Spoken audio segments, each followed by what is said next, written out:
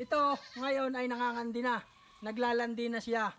Kaya pinagbala kong pagparisin itong pure blood na bower na ito. Ay meron pang mga kambing doon sa labas. Itatabo, yo, may dalawa pa doon. So yun mga kabayan, isang magandang magandang umaga ang bati ko sa inyo. So yun mga kabayan, ngayon ay may maganda akong balita sa inyo. So yung mga kambing na ito, yung nasa sa likuran ko ito, ay may nanganak na naman, dalawang inahin. Yung anak, yung anak nung isang inahin ay iisa, babae. Tapos yung anak nung isang inahin ay dalawa, isang babae at isang lalaki. So titingnan natin ngayon kung yung yung bower na binili namin noong nakaraang buwan ay nakapagpaanak. Yung bower na barako. Kung nakapagpaanak ng kagaya niya na ganong lahi. So titingnan natin yon. So ngayon ay nagbibigay pa lamang yung kapatid ko ng one, ng kumpay. Yan. Ano mga kumpay mo ngayon, Pani Carlo? Puso-puso? Baka ikaw lang naman wala puso. Ikaw, may puso ka. Kinakain din yan. So pagkatapos na rin bigyan ng mga kumpay yung mga kambing dahil rin paghihiwa-hiwalayin para makakain lahat. So yung isa doong naroong may anak at yung naroon ding isang may anak ay bibigyan. Ibigay mo yung may ilina doon sa isa doon. Albas, hindi, nakatali. Nakatali yung may anak. Pareho. Dahil itinali namin, dahil yung isang nanganak na yun ay wala talagang tali, hindi pabiyasan talian. Ito yun mga kabayan eh. Tinalian namin dahil hindi makasuso yung kanyang anak. Nalayo siya pag sususo. Yan. Yun yung isang anak naroon na sa loob. Ito yung nanganak, yung isang ito. Tapos siya, nagbibiti na ng pakain si paring Carlo. Yan. Nasaan? Nakikisalaw.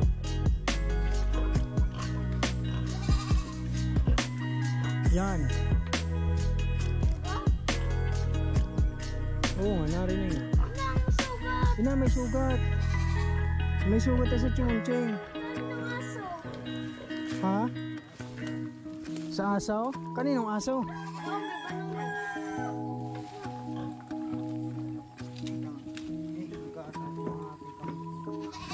Dali mo doon. Ikaw na!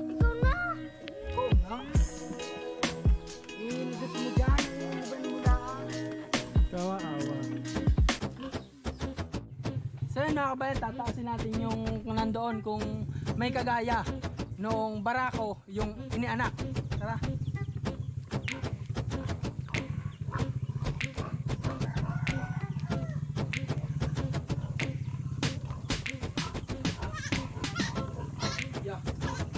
So yun, ito mga kabayan. Ito yung bagong anak. Isang itim at saka isang bower yung kulay.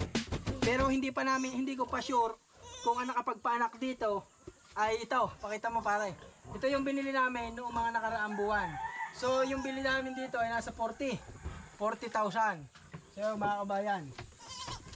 Doon ito binili doon sa kumpare ng aking ama. So tapos yung may anak dito sa dalawang ito ay itong brown na ito.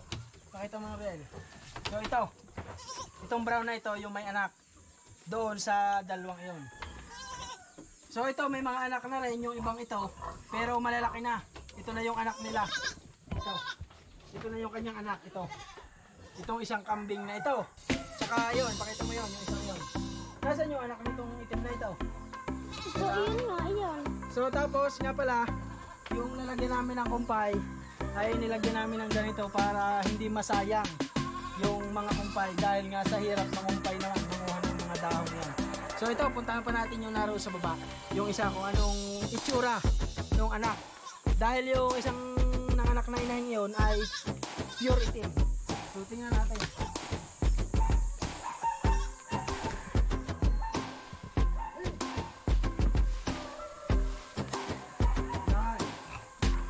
Maliwanag ah,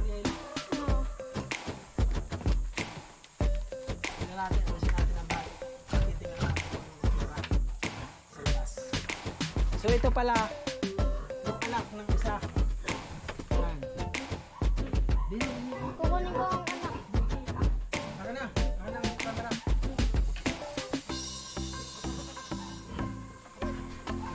Ino, binagsak na. So ito mga kabayan, ito yung anok noong isang ito. Yung pure itim na ito. Tapos, yung ama nito, yung nakababa dito sa inahing ito ay siguro ito dahil itim din eh. Itong isang barako namin ito. Bale, mga bang ito ito. Mga kabayan, ito yung ama. Yan. Natin. Ito yung ama. Medyo mahaba na sungay nito, nakakatakot na. Kaya sa mga nag-aalaga dyan, ingat-ingat kayo. Ito mga kabayan, ito yung pinakamatanda namin inahin. Yan. Yung isang ito. May anak din yan. Ito yung kanilang panganay. Ito yung naging tao na unahang anak. Yan. Yung isang iyan. Aring ha? Tapos yun, yung kulay puting yun. Yung nakain yun. Tapos ito na yata yung mga pangalawa, yung pangalawang anak. Hindi pa? Pangalan. Pangalawa na ito. Ayun. Saan bibigyan yung ibang kambing? Ay, yung kuha, yung may bisiro ngayon. Alin? Palpasaring matanda na yun, Ricardo. Nuriel. Para makakain.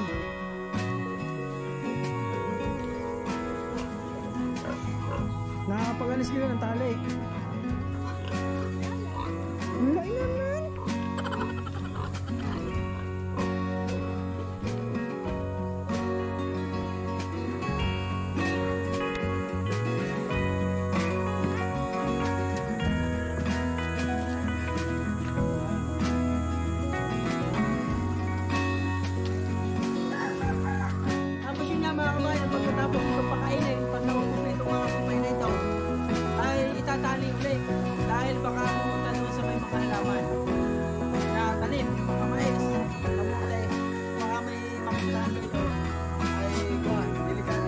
Tapos ito mga kabayan, hindi nga masyadong maayos yung aming kulungan, ay meron pang mga kambing doon sa labas. Itatabo, yo, may dalawa pa doon. Yan. Magsisipasok na sila. Tatlo pa pala, yun araw, yun. Yan, magbabalikan. Pagpapaluin mo. Sa mga susunod na mga kabanata, sa mga susunod na araw mga kabayan, ay aayusin natin itong kural na ito. So pag nakabalik ako ng Japan, ay siguro maayos ito ng maayos na maayos. Yung mga kulungang ito para hindi na sila makalabas. Tapos yun mga kabayan sa mga nagtatanong dyan, mga magtatanong pa sa video ito, ilan ang kambing na ito? Ay ngayon ay siguro ay nasa mga 29 na yan. Carlo, ano, nanganak eh. Tapos ito mga kabayan, meron ako di itong isang pagpaparisin. Pagpaparisin ko itong yung pure blood na bower doon sa aking isang inahin na hindi na, naglalandi na siya. Kaya pinagbala kong pagparisin itong pure blood na bower na ito. Dito, ito yung pagiging pagpaparisin ko, ito yung magko-combine. Titingnan natin kung ano yung magiging anak niya sa mga susunod na kabanata, sa mga susunod na araw pag ito yung anak. So medyo ito ay na, nakita ko na kahapon ay nagpapababa na ito. Itong isang dumalagang ito. Nanganak na ito? Hindi pa? Hindi pa. Wala rin siyang wala rin siyang sungay. Ito may sungay, itong isang lalaking ito. Yan, ipasan ko na ito. So ito mga kabayan, kung napanood nyo yung mga nakaraang vlog ko, ay ito yung binili namin. Ito yung pure blood na bow. Mga Kabayan, dito ko na tinatapos yung video ko ngayong araw na ito dahil nga ipinakita ko lang naman sa inyo yung pagkaanak, yung inianak na kambing ko, anong itsura yung naging anak ng dalawang inahing kambing. So yun, maraming maraming salamat sa panonood nyo at sa mga kabayan ko dyan na patuloy na nanonood ng aking video ito, ay mag-comment lang kayo dyan ah, sa video kong ito. At sasagutin natin pag makikita ko. Pero makikita ko yan dahil lagi ako nagbabasa. Kaunti lang naman ang aking subscriber eh, yung mga nakasuporta. So sana madagdagan pa yan at maraming maraming salamat sa panonood nyo lagi. Okay, bye bye!